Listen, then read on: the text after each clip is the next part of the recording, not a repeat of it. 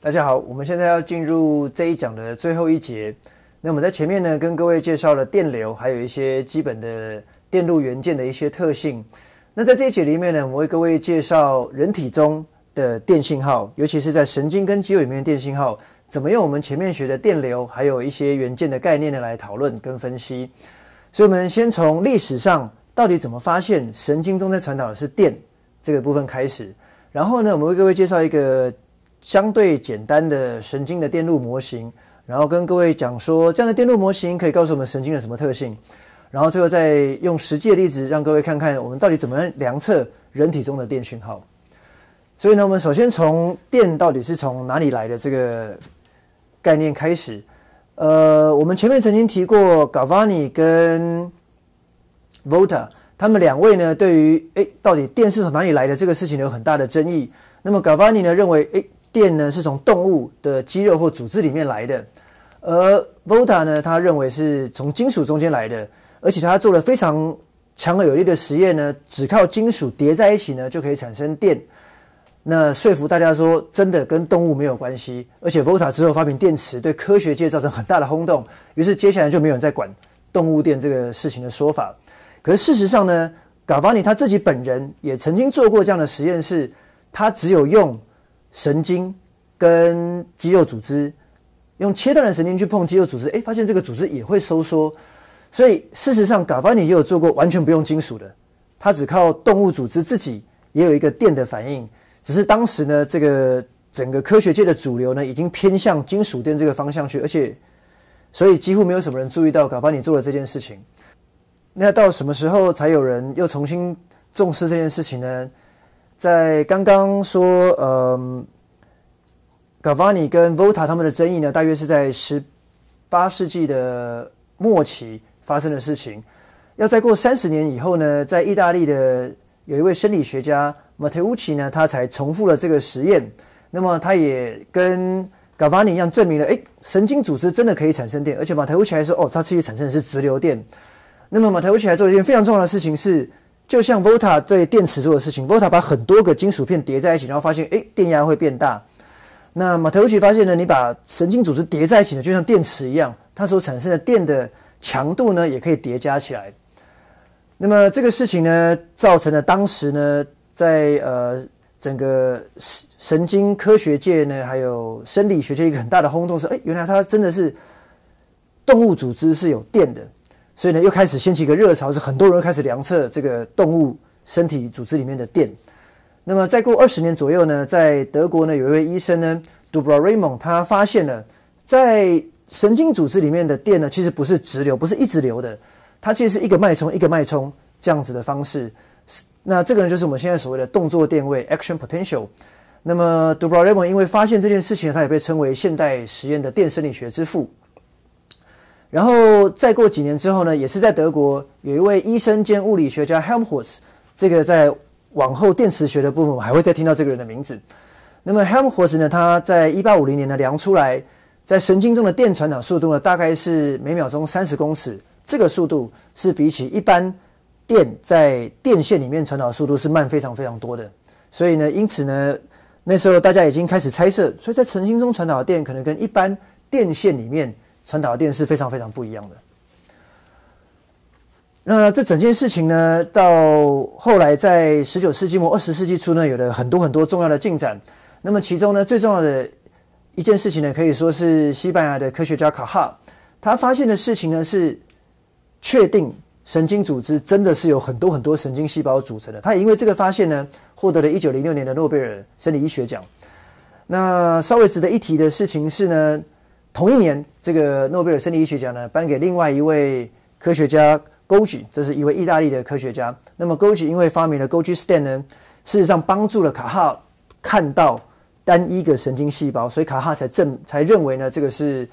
神经组织是细胞所组成的。可是勾吉本人呢，他所支持的理念是呢，神经组织呢其实是一个网络的结构，而不是由细胞组成的。这个事实上是十九世纪末期一个非常非常大的争议。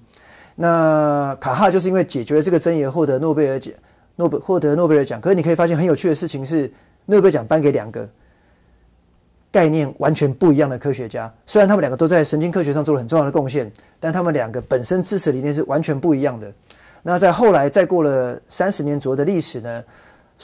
在世界上的科学家呢才完全同意卡哈所提出来的理论是正确的。所以这件事情呢，我希望跟各位聊的东西是：现在你可能觉得啊，神经就是细胞组成，这不是理所当然吗？这件事情也不过就在一百年前，其实都是一个非常大的争议。现在在科学界教给各位的很多东西，事实上早年都是经过非常非常多争议而形成的，只是现在在教给你的时候都把争议给略掉了。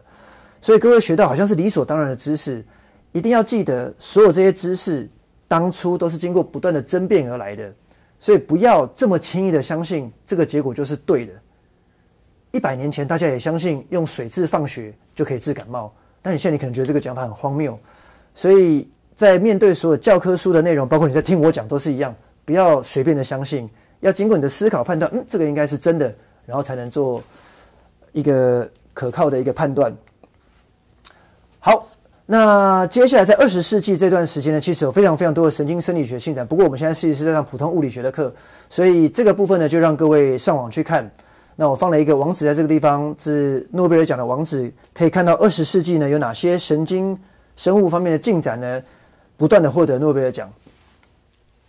所以我们为为各位用这个简单的动画呢来解释一下，现在我们所了解的在神经中的电传导是怎么造成的。那么呢，我们现在的理解是，神经中的电传导主要是来自于细胞膜内外的离子交换。所以在这个图里面呢，横的这个是一个细胞膜，那上面有一些红色、绿色、紫色的，这个是上面的分子团。这些分子团会造成内外离子的交换，而造成电位的改变。在正常的情况之下呢。细胞内部就在这层膜的下面，是细胞内部呢，它是钾离子浓度比较高，而电位是比较低。在细胞的外部呢，就在这个膜的上面，是钠离子浓度比较高，而电位呢，相对内部来说是比较大的。所以呢，在这整个图的下面呢，有一张电位的图，这是表示细胞内部的电位图的大小。那么目前的电位呢是负的，在负六十个 millivolt 的大小。然后我们现在呢，再把这个轴突呢切成两个小块。出来看上面的离子会怎么变化。当细胞呢受到外部的刺激的时候呢，我们这边用红色的星号表示，所以外面有刺激来给这个细胞的时候，它会开始传递讯号出去。那么这个传递讯号的在离子层次发生的事情呢，就是当刺激来的时候呢，有这个造成